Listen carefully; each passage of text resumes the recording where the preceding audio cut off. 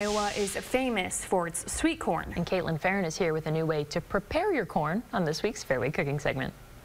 Hi, good morning. I'm Caitlyn Ferin, a registered dietitian with Fareway, and as you can see, I have some famous Iowa sweet corn here. Now, working at Fareway, I've tried a lot of different options for cooking corn on the cob. I've tried microwave, boiling in water, grilling, husks on, husks off, you name it. But there's a method that I've tried a few summers ago, and it has been a go-to ever since. This is great, especially if you're hosting a large gathering, cooking a lot of corn all at once, uh, don't know exactly when you're gonna be eating. This is cooler corn. And cooler corn, as you probably guessed, is cooking the corn straight in your cooler.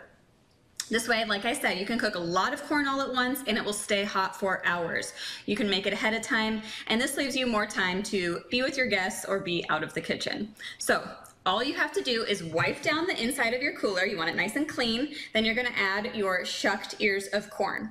Now, big tip, do not place your cooler on the edge of a counter. I like mine on the floor. I actually prefer mine outside, which makes draining it a lot easier. So once your corn is in there, you're going to add two to three kettles full of boiling water right over the corn and close the lid. Now this takes about 20 to 30 minutes and your corn will be perfectly cooked and the best part, it will remain at the perfect level of doneness for hours. Recently, I made about two dozen ears of corn and it stayed warm for four hours. So it was absolutely perfect. So grab your ear of corn, add your favorite things. Now I'm a simple butter and salt girl, but we've got lots of delicious recipes. And as, as always, you can find those at fareway.com. Enjoy.